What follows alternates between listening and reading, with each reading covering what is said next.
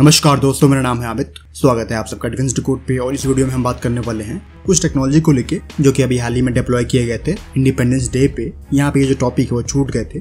तो यह डीआरडीओ द्वारा बनाया गया एंटी ड्रोन सिस्टम इसके बारे में हम सभी बात कर चुके हैं पिछले कई सारे वीडियो में। इसी का एक जो वेरियंट है, वो व्हीकल में माउंट करके कश्मीर में डिप्लॉय किए गए हैं। तो यहाँ पे इसी एंटी ड्रोन सिस्टम में कुछ नए एलिमेंट हैं, उनका एडिशन हुआ है। उनको लेके हम स्पेशली बात करने वाले हैं। यहाँ पे जो पहले सिस्टम था वो आपको कुछ ऐसे दिख रहा था, जिसमें tracker F M C W radar और जैमर के साथ साथ जो इलेक्ट्रोप्टिकल सिस्टम है, वो आपको दिख रहे थे।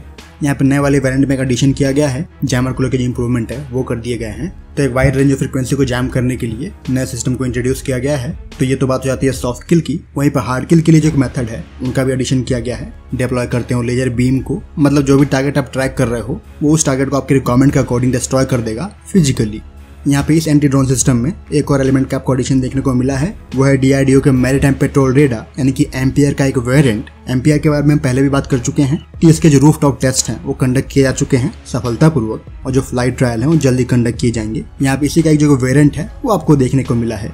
ये एक आईसा रेडार है, यानी कि active electronically scanned array radar और यहाँ पे जो इसकी रेंज होगी, वो 80 किलोमीटर तक जाने वाली है।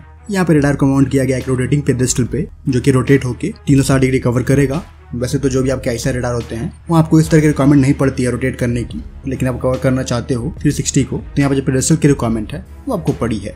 तो ये डी के एल द्वारा बनाए गए एम्पियर का ही वेरियंट है और प्रॉब्लम यहाँ पे जो इसका डेवलपमेंट है, वो पहली बार हुआ है। तो कहीं की जो टेस्टिंग है साथ ही साथ, वो भी यहाँ पे हो रही होगी। तो यहाँ पे जिसका रोल होगा, वो काफ़ी सिमिलर रहेगा D S R three X की तरह ही, जो कि आपको ऐसा देखने को मिलता है। ये एक एक्सबेंड रेडार है।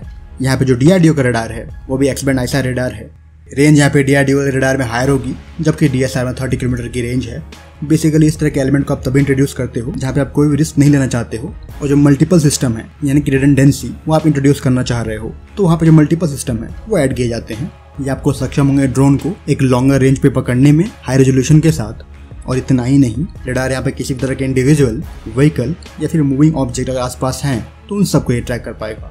तो 0.01 मीटर स्क्वायर के आरसीएस को पकड़ने में सक्षम है? जबकि ट्रैक के टाइम पे ही ये स्कैन भी कर रहा होगा। ये ईसा रेडार है। वहीं पर टारगेट को ये क्लासीफाई कर रहा होगा। यहाँ पे इसको जैम करना आसान नहीं होगा। यहाँ पे एलपीआई की क्षमता इसके पास।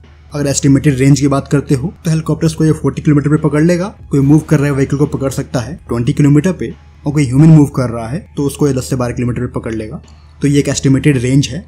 अगर बात करते हो पावर कंजम्पशन की तो कहीं की 400 वाट से ऊपर की रहने वाली है। सो इस तरह के सिस्टम का जो इंटीग्रेशन है, वो आपके ओवरऑल एंटीडोन सिस्टम को ऊपर लेके जाएगा और और भी एक्यूरेट बनाएगा।